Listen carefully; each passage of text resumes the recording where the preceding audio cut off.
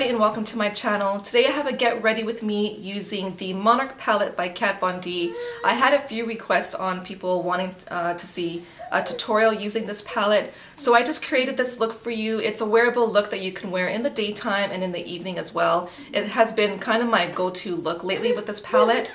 So um, if you guys want to see how I got this then just keep on watching. Okay, for primer I'm going to use the Professional I love this stuff. It's my all-time favorite. It does a really good job of covering the pores and keeping me matte through the day. I just put that just in my T-zone and then I blend it through the rest. I'm using the Korres Lip Balm in Jasmine. I'm just to use that to moisturize my lips.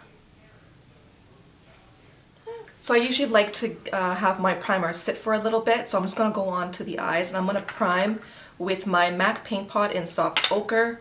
I'm just going to take my Sigma uh, P84 and I'm just going to just apply that on the lids. For foundation today, I'm going to use my L'Oreal True Match in the color W5. It is my all-time favorite drugstore foundation. It just I don't know, every time I use it, it just impresses me more and more. I love the finish that it gives. It gives a beautiful satin finish, but it also, it covers really, really nice and it keeps me matte. Um, the color right now matches me perfectly. So I'm just going to dot that everywhere. Then I like to use my buffing brush by Real Techniques and I'm just going to pat that in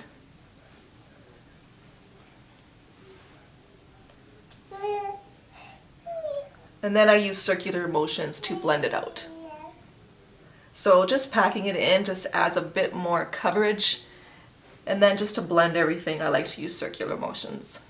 Okay, so on to the palette. I'm going to take this light brown shade right here. It is matte and I'm going to apply that in the crease.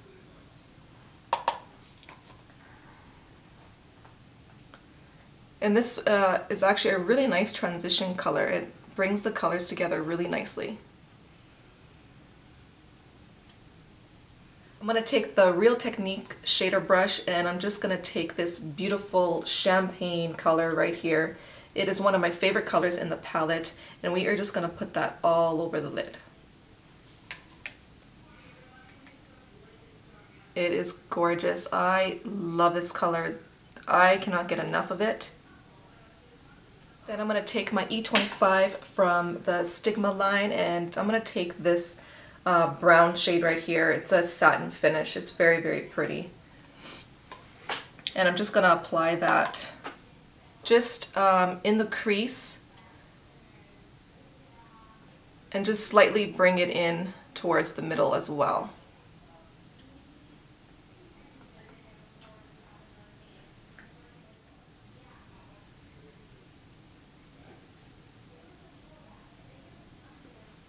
Now just with a pencil brush, I'm going to take this um, matte dark brown shade and just apply that on the outer corner.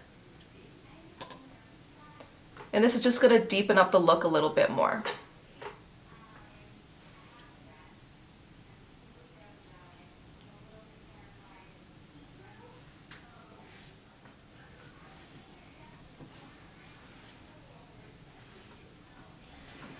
So with a crease brush, I'm just going to take this shade right here. It's just a light uh, blending shade with a bit of sparkle, but I'm just going to add just a little bit. I'm just going to blend out those harsh lines just through the top here.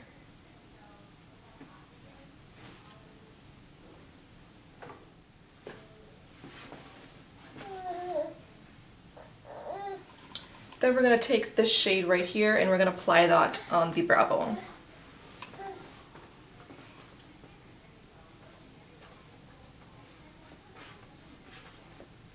So for my brows, I'm going to take this Benefit Gimme Brow.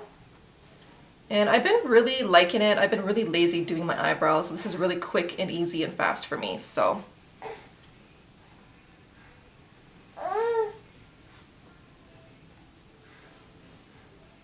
Then I'm going to take the Milani Clear Brow Gel and just going to set that.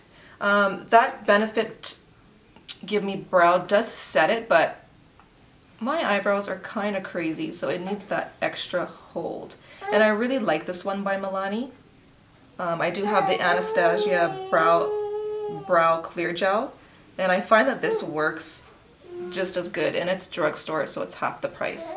I don't think I'll be repurchasing the Anastasia one. So for eyeliner, I'm using the CoverGirl Liquid Liner. I like it because it's really small, so it's really easy to hold in your hand. It's the brush is okay on here, but you just have to be really careful because you can do a really thick line with this, so it's not that easy to do a really thin line with this liner.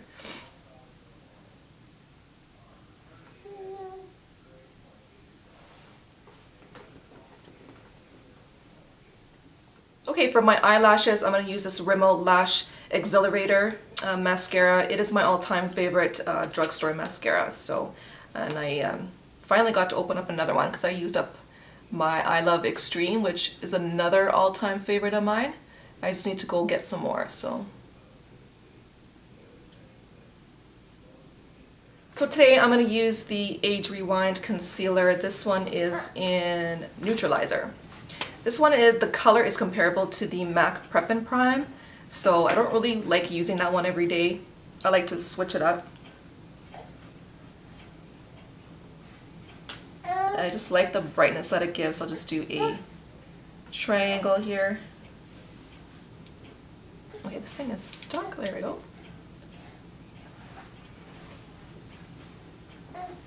I like this stuff because it's very easy to blend out. I love how it feels just putting it on. So down the bridge of my nose, anywhere where I like to highlight is where I like to apply it. And I always use the Expert Face Brush to blend that out. And I just do patting motions again. And this just adds more coverage. To set that, I've been taking the Hourglass in Dim Light, and I just set that underneath my eyes. Again, and some patting motion so you don't disturb the concealer. I really like my Laura Mercier brightening powder, but I ran out of that stuff and I don't really want to spend money on it right now. So. so to set that, I'm going to take my Rimmel's Stay Matte in Transparent. I've been liking using this stuff lately just because it is getting warmer out and it does keep me more matte through the day. So this is a great um, drugstore powder and it doesn't look cakey on at all either. Again, I'm using patting motions. My camera shut off, I'm sorry about that, but I took this brown shimmery shade with a angled uh, small brush and I just applied that underneath the lash line. Then I took the NYX Wonder Pencil and this one's in the shade Light, I believe. Yeah. And I just added it in the corner of my eyes and I like to use this underneath um, any highlighter that I'm adding on top. So, and I did take that same shade that I used on my lid and I added that in the inner corner. So for bronzer, I've been taking this Sephora uh, Pro brush in 55. I don't normally like using this for foundation. I didn't care for it for foundation. I didn't, didn't find that it blended really nice. Maybe I'm using it wrong, but I do like using it for bronzer. So I'm going to take this um, MAC Give Me Sun and I'm just going to just pat just a little bit. This stuff is pigmented. I'm just going to use it to warm up my face. So I'm not going to do a strong contour, just something that's going to give me some warmth. And I'm going to add that down the bottom of the neckline.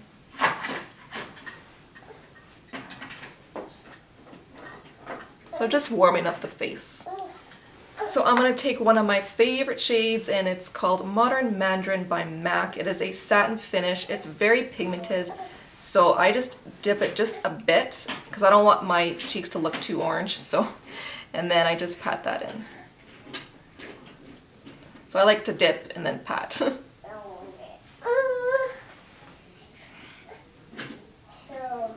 I've been really into like the oranges lately. Um, Last summer I was more into pinks and this summer is more about the peaches and the oranges. Okay, you guys know that I love the Bobbi Brown Shimmer Brick in Apricot, but today I'm going to put it down and I'm going to use something else. I'm going to use the um, Physicians Formula Warm Nudes palette and I'm really surprised on how good these ones are. I've tried like the, the shimmering bricks by Physicians Formula, but they're not my favorite. But these ones here are, they are extremely pigmented. I'm just gonna add that on the top of my cheekbones, and I like to bring it up around the eye as well. And then down the bridge. And Cupid's bow.